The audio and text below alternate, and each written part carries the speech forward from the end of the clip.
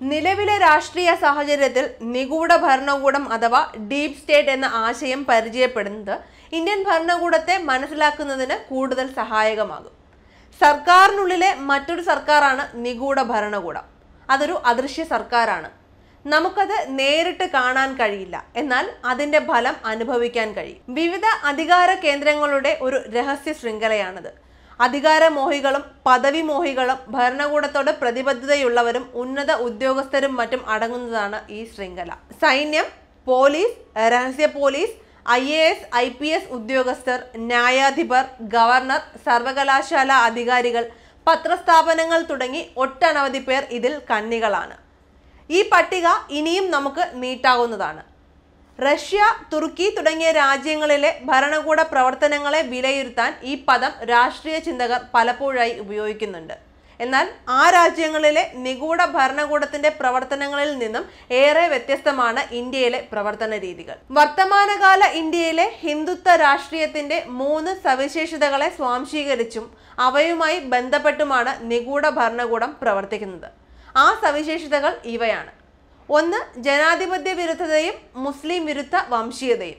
രണ്ട് ബ്രാഹ്മണിക്കൽ മൂല്യങ്ങളെ ഉറപ്പിച്ചെടുക്കുകയും അതിന് മധ്യജാതി വിഭാഗങ്ങളെയും ദളിത് വിഭാഗങ്ങളെയും കൂടെ നിർത്തുകയും അതേസമയം ജാതിമർദ്ദനവും തുടരുകയും ചെയ്യുക. മൂന്നാമത്തേത് ചങ്ങാത്ത മുതലാളിത്തം മൂലധന സമാഹരണത്തിനും മറ്റ് പ്രവർത്തനങ്ങൾക്കും പ്രയോജനപ്പെടുത്തുക എന്നതാണ്. ഒന്നാമത്തെ പ്രത്യേകത ആർ എസ് എസിന്റെ ജനിതക ഘടനയിൽ തുടക്കം മുതൽ ഉള്ളതാണെങ്കിൽ രണ്ടാമത്തേത് തുടക്കം മുതൽ ഉള്ളതും പിൽക്കാലത്ത് പലതരം തന്ത്രങ്ങളിലൂടെ വികസിപ്പിച്ചതുമാണ്. മൂന്നാമത്തെ ഘടകം ഇന്ത്യൻ സമ്പദ്ഘടനയുടെ സവിശേഷ സ്വഭാവം കാരണം കഴിഞ്ഞ രണ്ട് ദശകങ്ങളായി രൂപപ്പെട്ടു വന്നതാണ്. ഈ പ്രത്യേകതകളാണ് ഇന്ത്യയിലെ നിഗൂഢ ഭരണകൂടത്തിന്റെ സ്വഭാവത്തെ നിർണയിക്കുന്നത്. ഇത് നമുക്ക് അടുത്ത കാലത്ത് നടന്ന നിരവധി സംഭവങ്ങളെ സൂക്ഷ്മമായി നിരീക്ഷിച്ചാൽ മനസ്സിലാക്കാവുന്നതാണ്.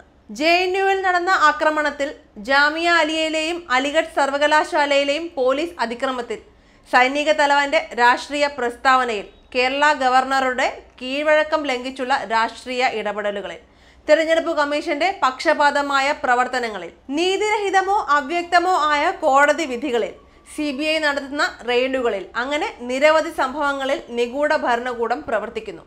അതിലെ രഹസ്യബന്ധം നമുക്ക് കാണാൻ കഴിയില്ല എന്നാൽ അത് വ്യക്തവുമാണ്. പോലീസ് എത്ര പ്രത്യക്ഷമായാണ് ജെ എൻ യുവിലെ അക്രമകാരികളുമായി സഹകരിച്ചതെന്ന് നോക്കൂ. അവരെ അക്രമത്തിന് അനുവദിക്കുകയും സംരക്ഷിക്കുകയും ചെയ്ത പോലീസ് നിഗൂഢ ഭരണകൂടത്തിന്റെ ഭാഗമാണ്. ഡൽഹിയിലെ പ്രശ്നക്കാരെ കൈകാര്യം ചെയ്യേണ്ട സമയമായി എന്ന് ആഭ്യന്തരമന്ത്രി പറഞ്ഞ് അധിക ദിവസമായില്ല. അപ്പോഴേക്കും അതിന്റെ സന്ദേശം ഡൽഹി പോലീസും അക്രമി സംഘവും ഏറ്റെടുത്ത് നടപ്പിലാക്കി. ഇനി അവർ അക്രമത്തെ അപലപിക്കും. അന്വേഷണം പ്രഖ്യാപിക്കും.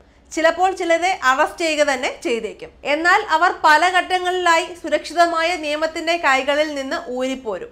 ആൾക്കൂട്ട കൊലപാതകങ്ങളിൽ പോലും നമ്മൾ ഇതൊക്കെ കണ്ടതാണ്. യു പി പോലീസ് നേരിട്ട് മുസ്ലിങ്ങൾക്ക് നേരെ അഴിച്ചുവിടുന്ന ആക്രമണം ഹിന്ദുത്വ ആശയത്തെ സാംശീകരിച്ചതിന്റെ ഭാഗമാണ്. നിഗൂഢ ഭരണകൂടത്തിന്റെ പ്രവർത്തനം വെളിപ്പെടുന്നത് ഇങ്ങനെയൊക്കെയാണ്. ജനാധിപത്യത്തിന്റെ വളർച്ചയിൽ പത്രങ്ങളുടെ പങ്ക് അതുല്യമാണെന്ന് നമുക്കറിയാം. എന്നാൽ ഇന്നത്തെ ജനാധിപത്യ വിരുദ്ധതയിലും വിദ്വേഷ പ്രചരണത്തിനും അശ്ലീല രാഷ്ട്രീയത്തിനും നിർലോഭമായ പിന്തുണ നൽകുന്നതും ഇവരൊക്കെ തന്നെയാണ്. നിഗൂഢ ഭരണകൂടത്തിലെ പങ്കാളികളാണിവർ. ദേശീയവും പ്രാദേശികവുമായ പത്രങ്ങളും ടെലിവിഷൻ ചാനലുകളും സ്വമേധയായും പ്രലോഭനങ്ങൾക്കും ഭീഷണിക്ക് വഴങ്ങിയും ഇതിൽ പങ്കാളികളാകുന്നു. സർക്കാരിനെ വിമർശിക്കാതെയും വാർത്തകൾ മുക്കിയും തെറ്റായ വാർത്തകൾ സൃഷ്ടിച്ചും ഭരണകൂടത്തിന്റെ എല്ലാ വൃത്തികേടുകൾക്കും അത് കൂട്ടുനിൽക്കുന്നു. മലയാള മാധ്യമങ്ങളും ഇതിൽ നിന്നും വ്യത്യസ്തമല്ല. ഈ നിഗൂഢ ഭരണകൂടത്തിന് എപ്പോഴും ഉന്നത നേതൃത്വത്തിൽ നിന്നുള്ള നിർദ്ദേശം ആവശ്യമില്ല. അത് സ്വയം പ്രവർത്തിക്കാൻ ശേഷിയുള്ളതാണ്.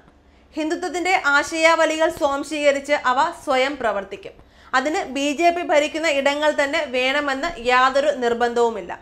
യു പിയിൽ എന്ന പോലെ അത് കേരളത്തിലും തമിഴ്നാട്ടിലും പ്രവർത്തിക്കും. ഇസ്ലാമോഫോബിയയും മുസ്ലിം വിരുദ്ധ മുൻവിധികളും അഴിച്ചുവിടും. ജനാധിപത്യ സ്ഥാപനങ്ങളെയും മൂല്യങ്ങളെയും തകർക്കും. അവരുടെ സംഘടനാ ചരിത്രത്തിൽ മനുഷ്യ സ്നേഹത്തിലൂന്നിയ പ്രവർത്തനങ്ങളില്ല. നിഗൂഢ ഭരണകൂടത്തോട് സഹകരിച്ച് പ്രവർത്തിക്കുന്ന പരസ്പരം പിന്തുണയ്ക്കുന്ന നിരവധി സംഘടിത സേനകൾ സംഘപരിവാറിന്റെ ഭാഗമായും സമാന ആശയങ്ങൾ സ്വീകരിച്ചും പ്രവർത്തിക്കുന്നവയായുണ്ട്. അവയാണ് ജെ എൻ യുവിൽ അക്രമം അഴിച്ചുവിട്ടത്. മലേഗാവ് സ്ഫോടനങ്ങൾ നടത്തിയത്. അവരാണ് ഗൗരി ലങ്കേഷിനെയും പൻസാരയെയും കൽബുർഗിനെയും മറ്റും കൊന്നത്. അവർ തന്നെയാണ് അഖ്ലാഖിനെയും മറ്റ് നിരവധി പേരെയും ആൾക്കൂട്ട കൊലപാതകങ്ങൾക്ക് വിധേയമാക്കിയത്. നീതിപീഠത്തിൽ നിന്നും കൊലയാളികളെ രക്ഷിച്ചത് R S S Bajrang Dal V H P Hanuman Sena Sanatan Sanstha തുടങ്ങി പല പേരുകളിൽ അത് അറിയപ്പെടുന്നുണ്ട്. നിഗൂഢ ഭരണകൂടത്തിന്റെ പ്രവർത്തനം രാജ്യമൊട്ടാകെ വ്യാപിച്ചുകൊണ്ടിരിക്കുന്നുണ്ട്. കൂടുതൽ കൂടുതൽ സ്ഥാപനങ്ങളും വ്യക്തികളും അതിൽ ഭാഗമാകുന്നുണ്ട്. പൗരത്വ ഭേദഗതി നിയമവും ദേശീയ പൗരത്വ പട്ടികയും ദേശീയ ജനസംഖ്യാ പട്ടികയും നിഗൂഢ ഭരണകൂടത്തിന്റെ പ്രവർത്തനങ്ങളിൽ നിന്ന് ഒരു പടി കൂടി കടന്ന് ഭരണകൂടം നേരിട്ട് വംശഹത്യയും മനുഷ്യത്വ വിരുദ്ധതയും ഏറ്റെടുക്കുന്നതിനുള്ള മുന്നൊരുക്കമാണ്.